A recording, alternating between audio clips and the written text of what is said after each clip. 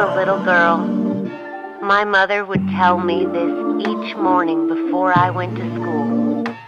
She would say, when you resolve to lift your life to its highest level, the strength of your soul will guide you to a magical place with magnificent treasures. Man, some feelings never fade.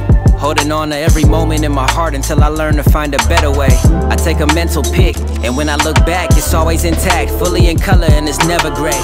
Younger me would never believe that this has now become a regular scene. I'm getting paid to live incredible dreams. At the same time, I'm able to change lives. It don't get no better to me.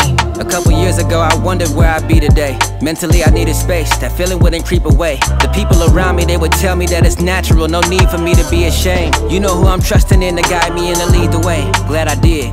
Where I'm at now, the lights are truly bright enough to see how clear the magic is. I'm on solid ground and I'm still floating. Was always told if I was bold enough to dream, somebody will notice. Lil Joey still got the passion from back in the day. Big motors I've been growing, ain't backing away. I've been fighting for heaven, I'll tip my hat at the gates. All the bad can't stay when I'm in my magical place.